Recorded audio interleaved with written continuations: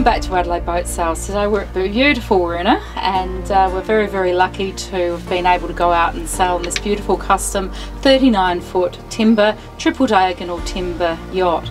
And with me I have Richard, the owner of this boat, who has um, been involved in the whole build process from the beginning. So talk to me about sort of where you originally purchased this boat from. Okay, thanks Joe. Um, yeah, well the boat um, was originally, I fell in love with the hull and it was built by one of the master shipwrights in Port Adelaide in, in 1995 and the guy that he built it for, um, for some reason or other didn't think he was ever going to finish it. So I bought the hull in its just completed state and I took it to, um, when I moved to Victoria I took the hull with me and then I, I found a Royal Navy shipwright that had been working on the timber boats for the actually for the royal family in uh, London. And he had three years up his sleeve. So I basically went to town with him and said here's two metres, two cubic metres of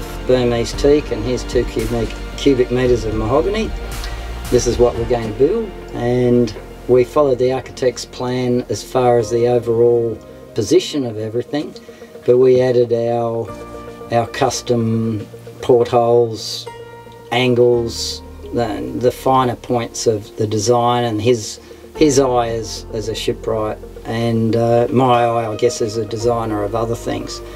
So basically, from there, we we finished her off over the next four years and launched um, Ruby Star in 19, oh I beg your pardon, in 2005.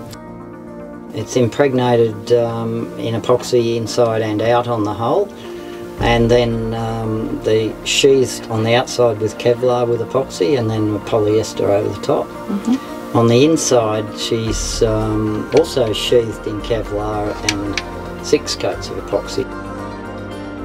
Okay, well, thank you so much, Richard, for uh, sharing your time with me today, going for a sail um, in very, very light winds, I must say, but that's okay. Sea breeze didn't quite get to us.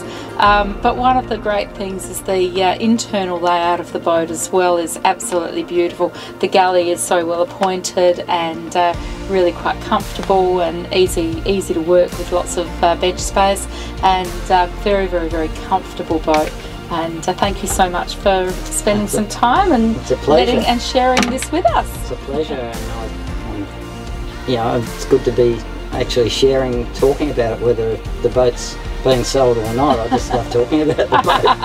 I love talking about boats too